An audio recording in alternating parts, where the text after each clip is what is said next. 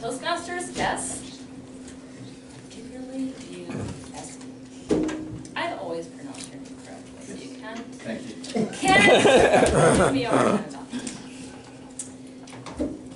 Today, Espen presented to us a educational speech, part of the Successful Club series, to help us become better club members. How many of you think you can become a better club member after hearing very good. Nothing I, I liked what you did, Espen, was how you personalized it and how you made it genuine and how you made it you. I'll first start with the way you came into the room.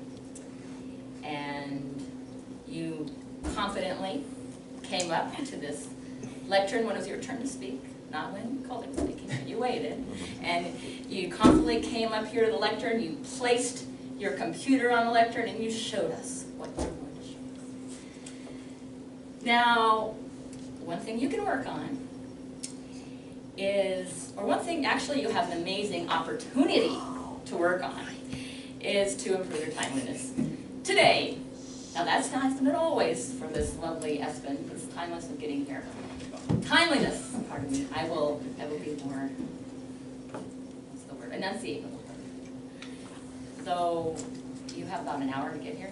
that what? It took me an hour to get there. Yeah, okay. One thing you did well, though, was let others know about your, your belated time arrival, so we knew what was going on. One thing that I'd like you also to look at is how you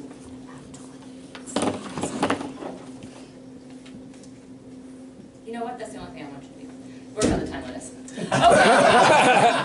Okay. Okay, this is about you, and it's not about me. So, the last thing that I would like to say that you did very well was, despite the kerfuffle of getting here late, is that you made this your own, and you made it espionized, and you gave us humor, and you helped us to see that even though we have high standards to meet, to be, to be members of Toastmasters, we are always becoming. And you show us that it's attainable. We don't have to be exactly like Julie, don't be exactly like Greg, even though they are very exemplary members. I do not want to take away from what they've done. I say, I think you're doing a great job, Espen, keep up the good work. Okay. Master evaluator.